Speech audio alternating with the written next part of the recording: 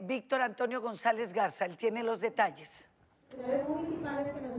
Gracias, licenciada. Buenas tardes. Gusto en saludarla. Así es, todavía ni salía la luz del sol cuando ya se alcanzaban a percibir algunas llamas en este terreno baldío ubicado frente a la colonia Andrés Caballero en el municipio de Escobedo, muy cerca del cruce del el libramiento noreste con la carretera a Colombia, en donde a temprana hora se dieron cita personal y elementos de bomberos de Nuevo León para extinguir las llamas que cada vez se propagaban más y que conforme fue amaneciendo y salía la luz del sol, bueno, se alcanzaba a percibir una columna de humo denso en color negro, lo cual indicaba que había eh, bastantes objetos y también mucho pastizal que se estaba consumiendo por estas intensas llamas. Una vez que llegaron ahí los elementos, combatieron este incendio con alrededor, o bueno, con dos camiones de alrededor de 4 mil litros cada uno de agua para extinguir las llamas.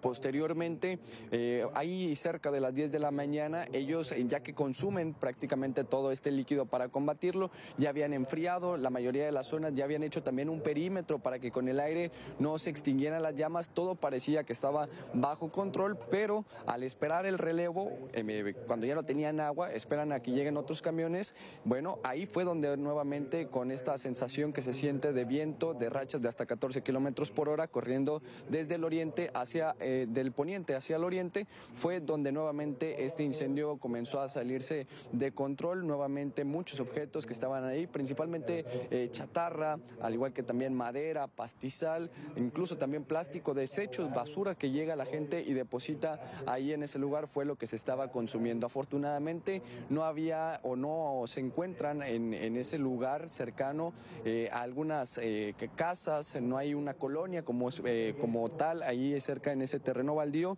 únicamente un eh, jardín de niños de nombre Arsenio Cantú Leal, pero todavía eh, pues es alrededor de unos 700 metros lo que pudimos eh, observar que hay de diferencia o de espacio entre desde la zona donde se estaba registrando este incendio hasta este jardín de niños. Afortunadamente no había lesionados, no había gente que estuviera en peligro, pero sin duda llamaba la atención porque esto también, licenciada, contribuye a una muy mala calidad del aire que desde temprana hora se estaba registrando aquí en el área metropolitana de Monterrey.